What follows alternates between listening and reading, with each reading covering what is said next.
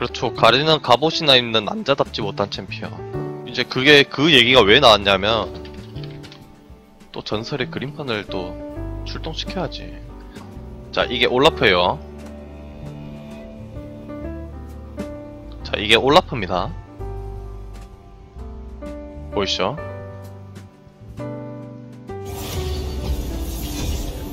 자, 올라프는 보통 이렇게 그리죠. 모두가 그렇듯이. 자, 이게 올라프인데, 자, 가렌은 어떻냐?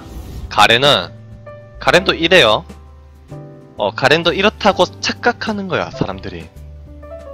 근데 문제는 뭐냐? 가렌은 갑옷을 입고 있죠. 응?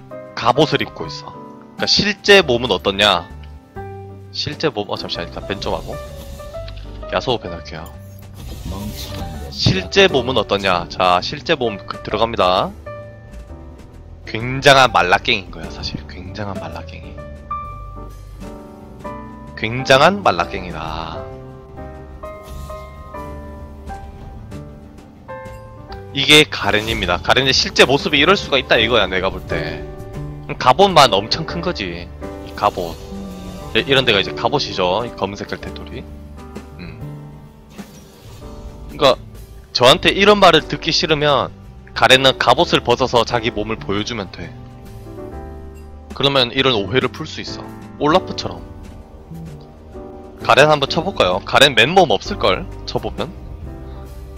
이거 봐, 전부 지지배처럼 음? 갑옷을 입고 있잖아. 국밥 한번 잘 먹어보도록 하겠습니다. 고마워요. 제드네. 제드면은 똑같이 한번 가볼게요. 아무것도 남기지 않겠대.